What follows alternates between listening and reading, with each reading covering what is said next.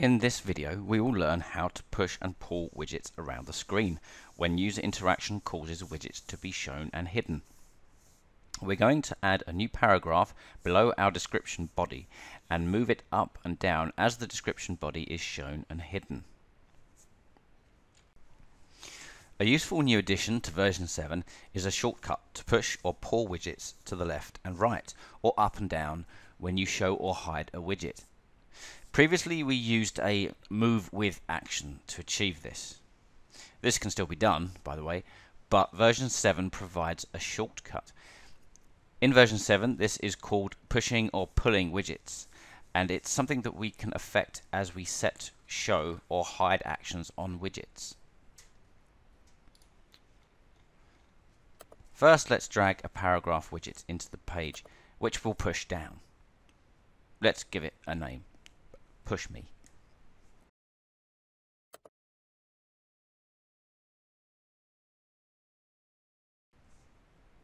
First, we should check that the Y location of our pushed panel is the same or less than the Y location of the panel doing the pushing, or it just won't work.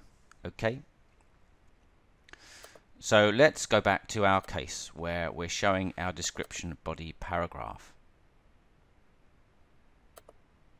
In the Show Hide configuration options, you'll find a More Options drop-down. At the bottom, you'll find Push Widget. You can choose to push widgets to the right or below.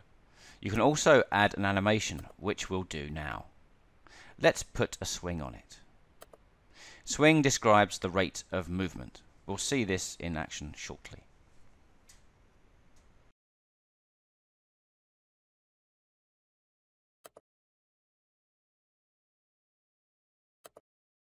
This interaction is only half baked. Uh, we need to reverse the action when we click on read less. Let's do that now. Open the hide product description body case. Pull widgets, swing. Okay.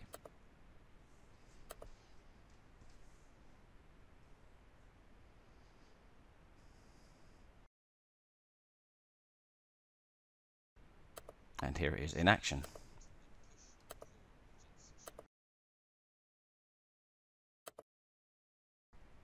Okay, so far we've covered a lot of interaction without converting to dynamic panels. This is something that will take some getting used to for existing users. For new users, we will introduce dynamic panels in the next video. Dynamic panels are appropriate to use when you have a feature with many similarly formatted states, but with different content. A slideshow is a good example of a feature suitable for deployment via a dynamic panel. Okay, that's what's coming up next.